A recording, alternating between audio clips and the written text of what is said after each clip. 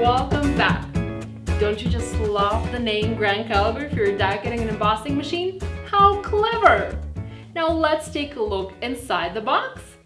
So first you have your instructions manual, your machine handle, your Teal Grand Calibur machine, and your cutting and embossing plates.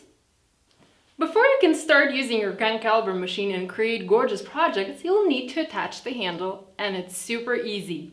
Simply attach the handle to the metal post and push lightly to make sure it's secured in place.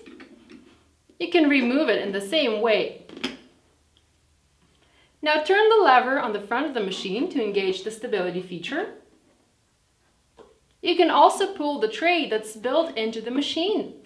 The tray actually contains a little cheat sheet for you. It tells you which plates you need to use to cut or emboss your dies.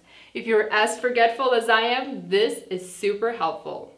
Now I'm a lefty, so I like to place my machine so the handle is on the left hand side. But you can use Grand Calibur machine either way. It doesn't matter which way you feed your cutting or embossing sandwich through. I love to create all sorts of projects using my Grand Calibur die cutting and embossing machine, but I mostly use it for cards. Here are just a couple of card examples that I created using my Grand Calibur. Be sure to check out Spellbinder's YouTube channel to see more card making videos and see Grand Calibur machine in action. Unleash your creativity with the Spellbinder's Grand Calibur machine.